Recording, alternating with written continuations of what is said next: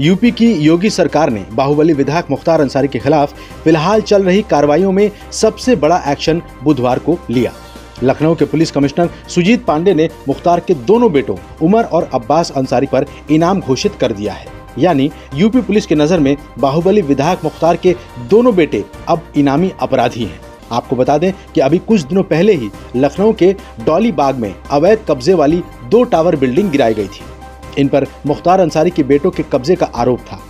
इस इमारत को गिराने के बाद दोनों बेटों के खिलाफ अवैध कब्जे के आरोप में एफआईआर दर्ज कराया गया था।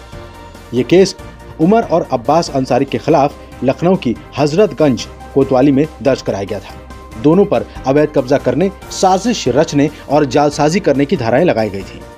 बाहुबली विधायक के परिवार के खिलाफ हुए इस एक्शन ने पूरे पूर्वांचल की राजनीति में खलबली मचा दी है। इससे पहले गाजीपुर पुलिस ने मुख्तार अंसारी की पत्नी आफसा अंसारी के खिलाफ भी गैंगस्टर लगा दिया है। अब मुख्तार अंसारी के बेटे फरार हैं और पुलिस की नज़र में अपराधी हैं। यूपी के सीएम योगी आदित्यनाथ ने ऐलान किया है कि बाहुबली विधायक मुख्तार अंसारी के नेटवर्क को बर्बाद कर दिया जाएगा। इसके बाद से ही यूपी प्रशासन और पुलिस मुख्तार अंसारी और उनके लोगों के खिलाफ ताबड़तोड़ कार्रवाइयाँ कर रही है। मुख्तार अंसारी फ़िलहाल पंजाब की रोपड़ जेल में बंद है। पुलिस की माने तो मुख्तार अंसारी की बी वारंट भी तैयार है। इस संबंध में कोर्ट से जैसा आदेश मिलेगा, आगे वैसे ही कार्रवाई की जाएगी।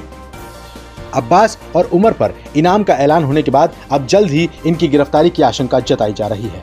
पिछले महीने से जारी कार्रवाइयों में यूपी पुलिस ने बाहुबली विधायक के आर्थिक नेटवर्क को ज़बरदस्त नुकसान पहुँचाने का दावा किया है। यूपी पुलिस के मुताबिक मुख्तार अंसारी के नेटवर्क को सालाना 48 करोड़ की आय बंद हो चुकी है। पुलिस ने दावा किया कि वाराणसी जोन में मुख्तार अंसारी के लोगों द्वारा कथित तौर पर चलाए जा रहे मछली, बूचड़खाने, कोयला कारोबार, वसूली गैंग इत्यादि को ध्वस्त करने में काफ़ी हद तक कामयाबी मिली है। ऐसी ही और भी खबरों के लिए हमारे यूट्यूब चैनल को सब्सक्राइब करें और बेल आइकन को ज़रूर दबाएँ।